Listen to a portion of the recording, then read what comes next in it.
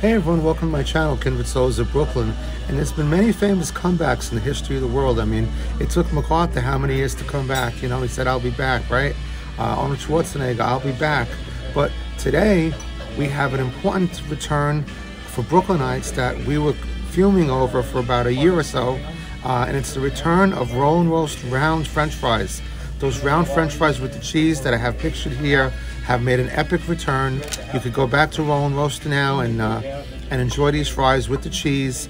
It was a tremendous outcry, but uh, the fries have returned. So uh, go there and because uh, they were talking about a supply chain issue, which their supplier wasn't able to manufacture them, so they went to these regular French fries, which are god bloody awful.